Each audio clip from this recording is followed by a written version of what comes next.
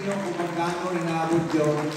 Uh, huwag ko daw sabihin, pero uh, bilang pasasalamat sa dun sa eksenang ginawa ninyo, uh, directed by no less than Christopher De Leon, yung, yung eksena nyo for OFW discussion.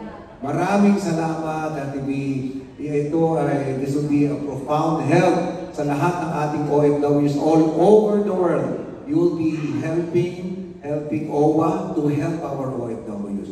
Napakalaking bagay ng ginawa nyo, lalo na itong eksena mo kakay na sinisingil ka ng OWA membership.